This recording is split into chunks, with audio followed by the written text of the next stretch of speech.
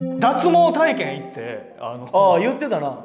あの元塗り絵川出さんの紹介で、こうまあ新人研修みたいな感じで脱毛できるみたいな。ひげ濃いからみたいな全身どこでも、まあ、一箇所選べるみたいな、で、まあ、フェイスで、ね、選択肢あってフェイスでやってもらいに行ったら、ちょっとねやっぱねあの新人さんで緊張しながらめっちゃ笑顔を作ってくれながらやってくれて、でプロの人もついて、でひげ剃り負けしてるとかできませんすいませんみたいなテープ貼ってこうパチンパチンパチンってやるんです、であ熱いんですけど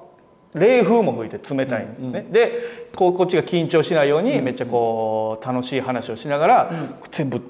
言ったらまあ第一段階の脱毛これをまた続けないといけないんですけど脱毛してくれてあこれでね続けていただいたらすべすべになるんでありがとうございます。ってこうねこっちもほぐそうと思ってニコニコを心がけて、ありがとうございました。またねこれでひげなくなったら嬉しいですねって言ってね、でありがとうございましたっつって、えーで戻ってでトイレ入ってどんな感じかなと思って鏡見たら思いっきり鼻毛出てたんですよ僕。ね、脱毛サロンでひげ全部剃ってもらって「よかったです」で笑顔で新人さんと気使いながら喋って一本未脱毛の部分が言ってくれてよくない？それ。確かにな。